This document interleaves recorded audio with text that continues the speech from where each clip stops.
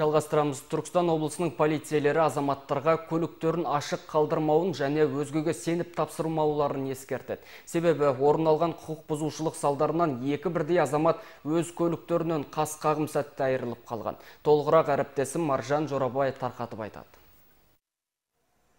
Шымкенттік тұрғынның арыздануы бойынша Самара Шымкент тас жолында орналасқан газ құю бекетінің операторына өтініш етіп өзіне тиесілі Audi 100 автокөлігін тастап кеткен. Себебі өзінде рұқсат қағазы болмай, көлігімен блок бекеттің бірінен өте алмаған.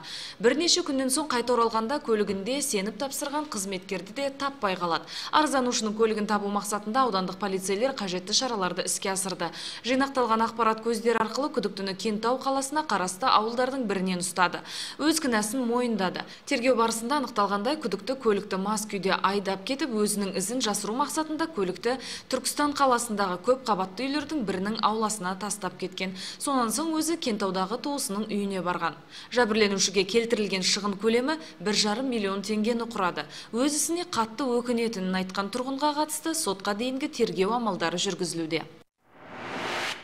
Осыған ұқсас жайт Сарағаш ауданында да орын алды. Бұл жолы Сарағаш аудандық полиция бөліміне жергілікті тұрғын арызданған. Жұмыс барысымен шығып, көлігін көшенің шетіне қойып, ашық күйде қалдырған. Қайта келгенде көлігінің жоқ екенін байқаған. Іздестіру нәтижесінде келесі күні Сарағаш аудандық учаскелік полиция инспекторлары, полиция майоры Ильяс Егізбаев пен полиция капитаны Сержан Құлжановтар іздеудегі көлікті байқап қалып, көлікке барады ішінде ішімдікке тойып алған екі тұрғынның бары анықталды. Тергеу барысында бір көшеде тұратын екі таныс мас халде келе жатып есігі ашық аузында кілті тұрған көлікті көріп қалып мініп кеткені анықталды. Қазіргі таңда екі жайтта қазақстан республикасы қылмыстық кодексінің 200 бабымен тіркеліп сотқа дейінгі тергеу амалдары жүргізілуде.